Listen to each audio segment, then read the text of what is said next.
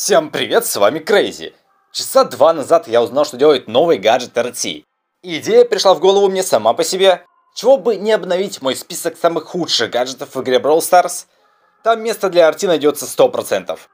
Но как же я выбирал, кто туда попадет? Критерий первый, насколько же плох сам по себе гаджет. Это вообще-то самый важный фактор, ну по сути основное. И второй, насколько хорош другой гаджет этого перса. Возможно, он слишком имбовый, и на фоне вот другого второго – Первый гаджет отстойный. Такое тоже бывает частенько, я бы сказал. Это мы тоже учитываем. Но я больше не тяну приятного просмотра, погнали. Начнем мы с 15 -го. И потихонечку пойдем к первому, то есть самому худшему. И 15 место импульсный модулятор PEM. Он вроде бы-то и неплохой гаджет отчасти, где-то может быть вас спасет. Как в целом и весь этот список. Все в этом списке, возможно, спасут вас однажды где-то. Но по сути все они не очень. Вот, например, ПМ хилит 1200 единиц здоровья всем, кто находится в хилке. То есть, возможно, 3600, если вы все вместе стоите, ходите, но это маловероятно ведь. Скорее всего, это 1200. Но при условии, что сама хилка столько же хилит за 3 секунды, это прям не очень. Да и по сути 1200 очень мало. Это вас не спасет, только если вы будете прятаться за хилкой. А это можно сделать и со вторым гаджетом, то есть тем более даже лучше. Ты встал под хилочку, Взял гаджет, забрал патроны, выжить просто будет практически невозможно. ПМ там за 2 секунды дает столько, что умрет буквально кто угодно. Шансы выжить есть только у танков. Остальным, скорее всего, Габела. И на фоне вот второго, первый, ну, такой себе. Дальше перемотка Шелли. Я не знаю, кто им пользуется вообще, в принципе. Он перемещает Шелли немножко вперед. Нет, где-то как-то, возможно, это вам поможет, опять же. Если вы там хотите подбежать, убить. Ну, очевидно, что второй намного лучше. Даешь ульту и гаджет, тыкаешь просто автоатакой, умрет буквально кто угодно. Ну, ульта, естественно, на заморозку. После такой комбинации от Шелли выжить практически невозможно. Я даже не знаю, кто должен быть, чтобы он выжил. Особенно, если подошел я, то все, это конец. И перемотки даже близко на фоне этого гаджета нету. Потревоженный улей Бия. Выпускает 4 пчелы, каждая может нанести по 600 урона. Но после попадания в кого-либо она полностью пропадает. И вот, по сути, это не очень. Раньше было лучше в этом плане. Пчелы было три. Урон максимальный каждой пчелы по 1000. Уже больше как бы. И они плюсом не пропадали после попадания по кому-либо. Гаджет был явно лучше и более играбельный. Сейчас он тоже, по сути, может вас спасти.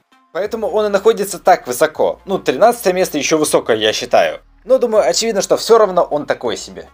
Сверхлипкость Биби. С помощью жвачки она морозит всех, по кому попала жвачка, опять же. И по сути это неплохо. Но 2 секунды и маловато, конечно. Да и к тому же вы кого-то заморозили на том конце карты, а что дальше делать? Ну как вы его убьете? За 2 секунды он отморозится и все, убежит. Это можно юзать только в команде, получается. Когда вы заморозили, ваши тиммейты добили. Командная работа. Но не стоит забывать, что Биби танк, и хпшки будет ей явно важнее. Идем дальше, и это пружиномет, пружиночка Гейла. Все вы знаете этот гаджет. Его списали вообще все, как только его пофиксили. И в целом я в том числе. Раньше он был классный, радиус был как у обычной пружинки, то есть действительно большой. И с ним придумали тактики и так далее. Сейчас я помню упоминание о нем только разве что в разрыве. С полгода назад его юзали. Или даже год назад, то есть очень давно. Гаджет явно не тот, но был в целом прикольный. Следующий бастер – пояс с инструментами. По-моему, гаджет также низкосортный. Бастер хилит всех, кто находится в зоне набивания его ульты. По сути, в этом маленьком кружочке по 500 хп с человека в радиусе. Суммарно получается полторы тысячи каждому. И кажется это вроде как неплохо, 4,5 в сумме. Но надо понимать, что радиус очень маленький. Скорее всего, Бастер будет бегать с кем-то, потому что у него набивается ульта, так ему это выгодно. И то есть прохилить тысячу возможно, может быть в редком случае эти полторы тысячи. Но даже по полторы каждому это реально мало. В самом начале, когда он вышел, было по тысяче с каждого человека, то есть суммарно возможно было выхилить 9 тысяч.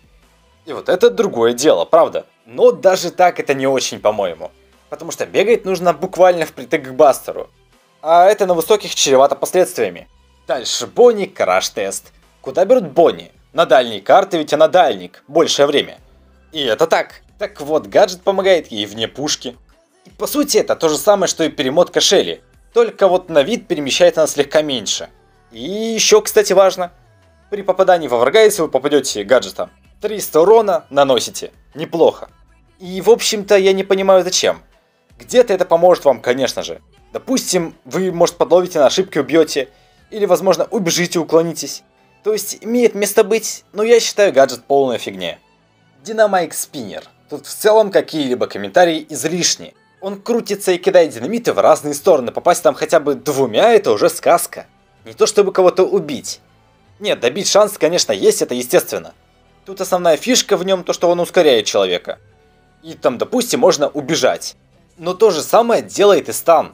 Заморозил ты застанил, убежал, все легко. А спиннер, думаю, вам скорее всего не поможет никак. Следующий метеорит Прима.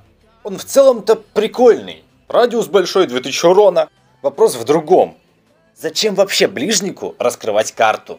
Это хороший вопрос, потому что, ну правда, для чего это делается? Я не видел, чтобы особо Прима играли с этим гаджетом, потому что, по-моему, ни тому, ни персу дали этот гаджет. Ну и серьезно. Второй явно лучше сбивает все, что ты хочешь.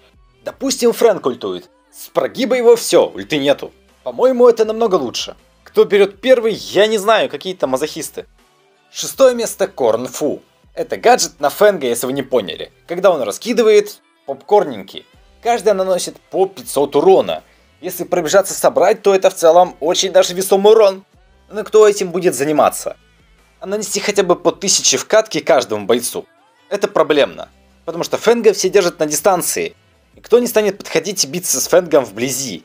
Ну, умрет, потому что попросту. Он же ближник и опасный ближник. А сдалека прожать этот гаджет и что-то весомое внести кому-либо невозможно. Там, скорее всего, будет в районе нуля урона. Я полагаю, что именно так. То есть гаджет, ну, такой себе, тоже не очень. Дальше Ева материнская любовь. Дело в том, что в целом это интересная задумка. Но с момента прожатия гаджета до, собственно, прохила проходит секунд 15. За это время может случиться, ну, что угодно. Хилит, ну, немало хилит, нормально, по правде говоря. Можно прохилить полностью Еву и еще кого-нибудь там, наполовинку. То есть в этом плане хорошо. Но времени проходит столько, что, вероятно, гаджет уже не нужен, когда эти дети появились. Следующий Сэм – удар током. Тут все в целом довольно странно. Ты сначала прожимаешь гаджет, потом его кидаешь ульту. И возможно, ты по кому-то попадешь и оттолкнешь. Но зачастую я, может, промажу вообще. То есть гаджет просто пропадет. И это, ну, такое, я считаю. Также странно, что Сэм отталкивает. Он же ближник. И было бы логичнее, что он стягивает, как делает первый гаджет. То есть второй, по-моему, вообще беспонтовая фигня. Кто его использует вообще, я не знаю, он же отстой. Ну и, наконец, тройка призеров. Гриф Лавина Монет. Кто его придумал, я не знаю. На один выстрел дается плюс 3 монетки. Обычно их 9. А становится 12. Солидно, можно решать по-любому. Ну, допустим, кого-то убить. Или в сейф внести на 1170 больше. Это даже звучит плохо. Ладно бы это было на какой-то промежуток времени, допустим, секунды 4. 4 секунды по 12 монет. Тогда это еще куда-нибудь догодится, ну где-то использовать можно. Но на выстрел, серьезно. Вторая, Амбер, пляшущее пламя. На 5 секунд появляются три сферы огонька, которые дают по 500 урона за каждое попадание по человеку, хоть сколько раз. Но, вероятно, максимум раз 15, где-то так. Я пошел пробовать в сейфе, думаю, урон можно внести более-менее нормальный. Но почему-то так и не получилось. У него хитбокс-то вроде как солидный у сейфа-то. Но по итогу там я раза со второго, третьего сделал это. Ну а в катке как это сделать? По человеку. Скорее всего, по человеку там 1000 урона, полторы, это будет еще офигенно. Поэтому Амбер здесь. Да и в целом это странно, эти огоньки очень близко к Амбер, почти впритык. То есть, скорее всего, вы находиться должны к человеку в упоре или к сейфу. А вероятно, враги не будут рады этому, и вас попросту убьют. И первое место гаджет RT по линейке. Он посылает своим ногам сигнал, который замедляет и наносит 500 урона всем врагам. Есть плюсы, делает их через всю карту. Ну и, конечно, минусы. Вы, скорее всего, не попадете. Там сигнал, правда, очень маленький. Только если человек идет прям за вами, или же вы в упоре стоите к человеку, тогда да. Да и урона 500 всего лишь, что это такое? Да и не часто разделенному РТ придется убегать. Это считайте Джеки, а обычно все побаиваются Джеки. Плюсом, вероятно, вторая часть РТ стоит где-то у вас на базе, но точно не у соперника. И при этой ситуации сигнал пойдет назад и вам никак не поможет, скорее всего. Ну, разве что в каком-то отдельном случае.